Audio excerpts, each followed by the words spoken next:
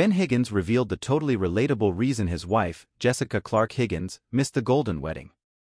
She could not get off work because she runs a crazy busy skin clinic, Ben, 34, wrote via his Instagram story on Friday, January 5. And she really cares about her clients and seeing them as often as they need.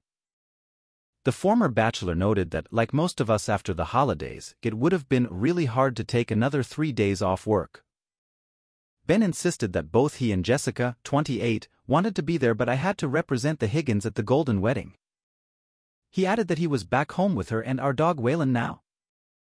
Although Ben was riding solo at Gerry Turner and Theresa Nist's Thursday, January 4th, nuptials, he was in good company, surrounded by more than 50 members of Bachelor Nation. In addition to witnessing the live TV wedding, Ben was on hand to see Bachelor in Paradise's Brayden Bowers propose to Christina Mandrell. It happened so fast. It happened so fast. Ben yelled as Brayden, 25, put the engagement ring on Christina's finger via Raven Gates' YouTube vlog. Ben's reaction was seemingly a response to Brayden and Christina's whirlwind romance, which was announced during the season 9 BIP finale last month. While Brayden was single at the end of BIP, fans learned he began dating Christina after leaving the beach. Ben's love story with Jessica also surprised Bachelor fans as she is not part of the ABC franchise.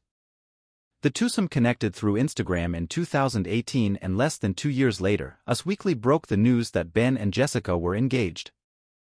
The couple tied the knot in Nashville in November 2021.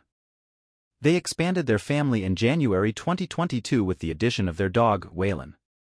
Ben celebrated his happily ever after via Instagram in November 2023 in honor of their anniversary. Two years ago we made a commitment. The commitment that every day makes me smile with joy, feel a peace in my soul, has allowed every part of me to be even more free than before, brought a hope for the future I never knew existed, helped me see the faults that I want to change and brought a lot of laughs, he wrote at the time. In the words of my wife at Jess Clarke underscore marriage is great, every night we get to have a sleepover with your best friend.